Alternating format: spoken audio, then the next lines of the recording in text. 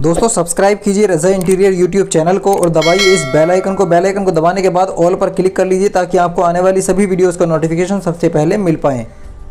तो दोस्तों, आज की इस वीडियो में हम जानेंगे कि टाइल्स जो है वो कैसे लगाई जाती है। दोस्तों, आप देख सकते हैं यहाँ पर जो सबसे पहले जो हमने इसका मसाला तैयार किया है, दोस्तों, इसका जो मसाला मसाला है तो वो खाली सीमेंट का हमें, मसाला जो है वो तैयार करते हैं।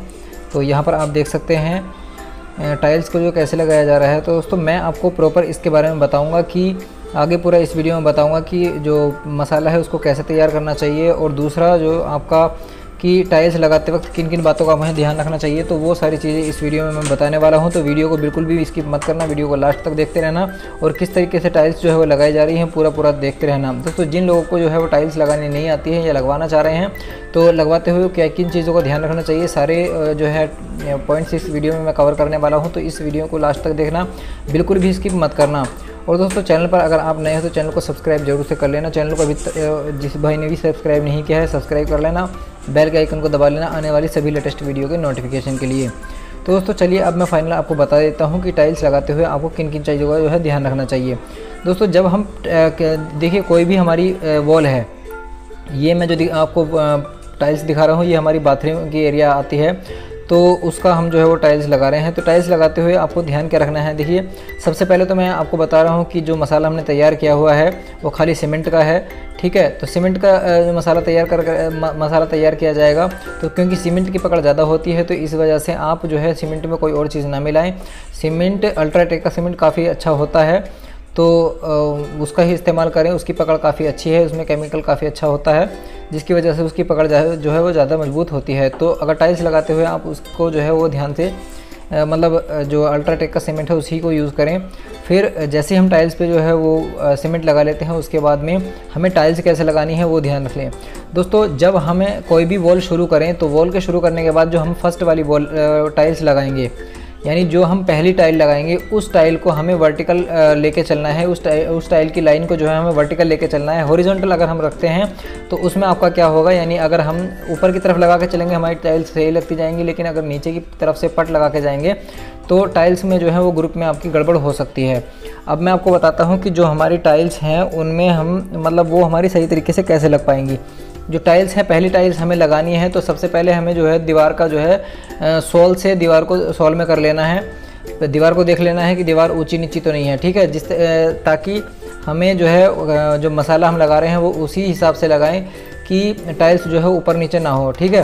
तो पहले जो दीवार है, दीवार को सोल में लेना है, उसके बाद टाइल्स को जो है वो उसी तरीके से लगाना है। फिर टाइल्स में जो है उतना मसाला हमें भरना है, उसी के हिसाब से जितना हम एरिया जो है वो नीचे से आगे तक कवर कर पाएँ तो उसी तरीके से हमें जो है टाइल्स के पीछे जो है वो मसाला भरना है। फिर पहली टाइल लगाने के बाद अब दूसरी टाइल को कैसे लगाना है वो भी आप समझ लें। दूसरी टाइल जो आप लगाएँगे वो हॉरिजॉन्टली यानी जैसे एक टाइल हमने लगाई, उसके साइड में साइड में राइट हैंड साइड में हमें नहीं लगानी है। हमें क्या करना है, उसी टाइल के ऊपर वाली टाइल लगानी है, ठीक है? एक टाइल का, एक टाइल हमने लगा दी, उसके ऊपर वाली टाइल लगाएँगे साइड वाली टाइल या उससे दूसरी वाली साइड हम टाइल जो है वो नहीं लगाएँगे। क्योंकि जब अब अगर आप ऐसे टाइल लगाएँगे तो आपको जो है वो दिक्कत आ सकती है ग्रुप्स आपके नहीं, बहुत मुश्किल होता है ग्रुप को मिलाना।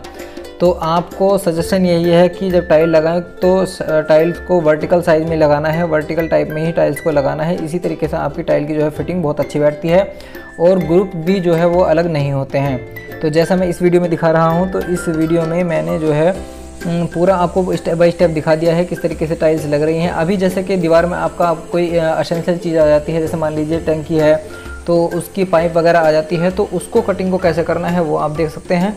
यहाँ पर प्रॉपर तरीके से कटिंग को जो है वो किया जा रहा है। ग्राइंडर से जो है वो पहले निशान लगा लेंगे हम, उसी टाइल्स को नाप करके कि किस जगह हमारा प्रॉपर जो है वो पॉइंट्स हमारा आ रहा है। उसके बाद हम ग्राइंडर से जो है वो उतने एरिया को काटेंगे जितने एरिया में हमारा वो इक्विपमेंट जो है लगा हुआ है। यानी जो टंकी है या कुछ भी हमारी चीज़ ऐसी लगी हुई है, जो एसेंशियल है, हमें दीवार में रखनी ज़रूरी है तो उसी को हम जो है उसी की कटिंग करेंगे। ठीक है, उसके बाद उसका साइज़ लेंगे दोबारा से। कि प्रॉपर रूप से हमारी कटिंग हुई है या नहीं हुई है तो आप देख सकते हैं जहाँ पे निशान लगा हुआ था, वहीं से ग्रेंडर से काटने के बाद में जो प्रॉपर हमारी आ चुकी है, उसके बाद में उस पर टाइल्स पर जो है वो मसाला लगाना है। मसाला लगाने के बाद में फिर से उसे चेप देनी है, जैसे हमने सारी दीवार पर जो है वो लगाई है, ठीक है? तो कोई भी आपको जो है दिक्कत नहीं आएगी इस तरीके से टाइल्स लगाने में। टाइल्स लगाने का सबसे बड़ा सिंपल एक रूल यही है कि जब आप टाइल लगाएँ तो टाइल को वर्टिकल टाइप में लगाएँ। हॉरिजॉन्टली आप नहीं लगाना क्योंकि हॉरिजॉन्टली लगाओगे तो जो ग्रुप्स हैं वो नहीं मिल पाएँगे। ठीक है?